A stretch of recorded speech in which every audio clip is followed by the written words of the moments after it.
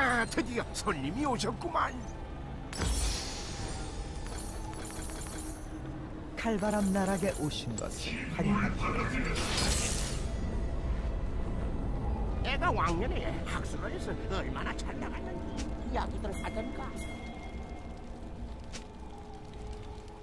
육신 포기하라.